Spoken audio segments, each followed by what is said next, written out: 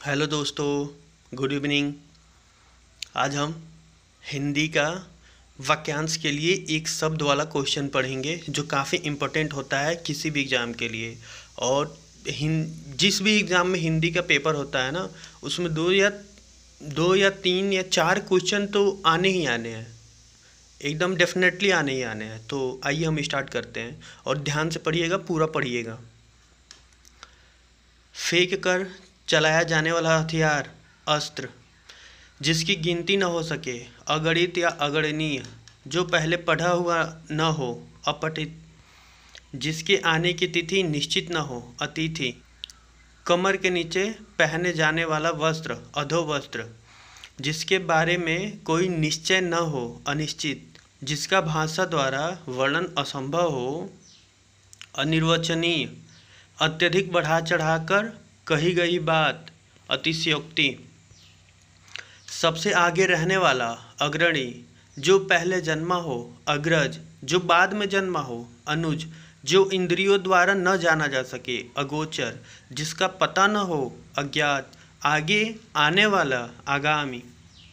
अंडे से जन्म लेने वाला अंडज, छूने, जो छूने योग्य न हो, अछूत, जो छुआ न गया हो, अछूता।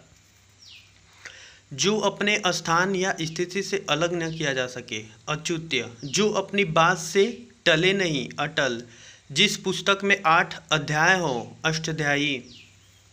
वह भाई, जो अन्य माता से उत्पन्न हुआ हो, अन्योदर, पलक को बिना झपकाए अनिमेश या निर्निमेश जो बुलाया न गया हो, अनाहूत, जो ढका हुआ न हो, अनावृत जो दोहराया न गया हो, अनावर्त।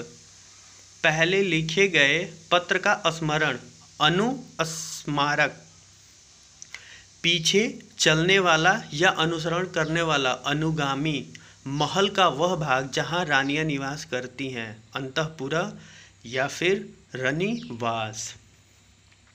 जिसे किसी बात का पता न हो, अनिभिज्ञ या अज्ञ जिसका आदर न किया गया हो अनाग्य जिसका मन कहीं अन्यत्र लगा हो, अन्य मनस्क। जो धन को व्यर्थ ही खर्च करता हो, अपव्ययी। आवश्यकता से अधिक धन का संचय न करना, अपरिग्रह।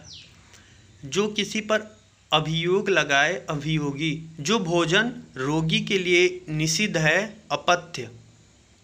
जिस वस्त्र को पहना न गया हो, अप्रहत, न जोता गया खेत, अप्रहत, जो बिन मांगे मिल जाए, अयाचित, जो कम बोलता हो, अल्पभाषी या मितभाषी, आदेश की अवहेलना अवज्ञा, जो बिना वेतन के कार्य करता हो, अवैतनिक, जो व्यक्ति विदेश में रहता हो, अप्रवासी जो सहनशील न हो सहिष्णु जिसका कभी अंत न हो, अनंत, जिसका दमन न किया जा सके, अदम्य, जिसका स्पर्श करना वर्जित हो, अस्पृश्य,